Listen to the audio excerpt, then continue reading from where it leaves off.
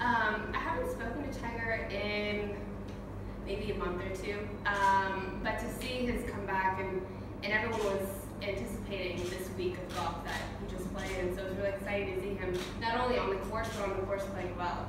Um, that's the Tiger that we've all missed.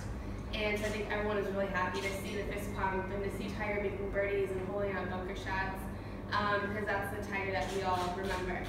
Um, so it was really exciting for me to see. Um, you know, as a golf fan, just to see great golf being played again. Tiger's the great, to me, the greatest golfer um, that's played, and um, the greatest golfer in my lifetime, at least. So,